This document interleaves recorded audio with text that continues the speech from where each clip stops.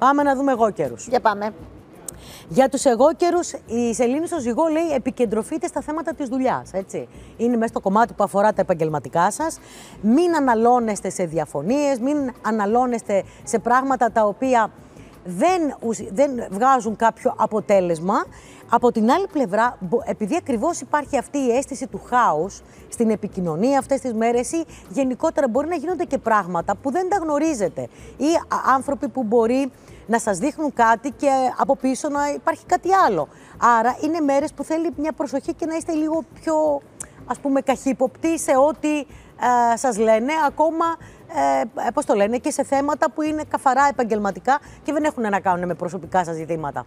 Σήμερα και αύριο λοιπόν υπάρχει όλο αυτό το περίεργο, αλλά είναι δύο μέρες, θα περάσουν και αυτές. Ο Άρης που είναι σε εξάγωνο με τον χρόνο δείχνει όμως ότι αν πέσετε με τα μούτρα και προσπαθήσετε να έχετε τον έλεγχο μιας κατάστασης, ότι μια χαρά δουλίτσα μπορείτε να κάνετε.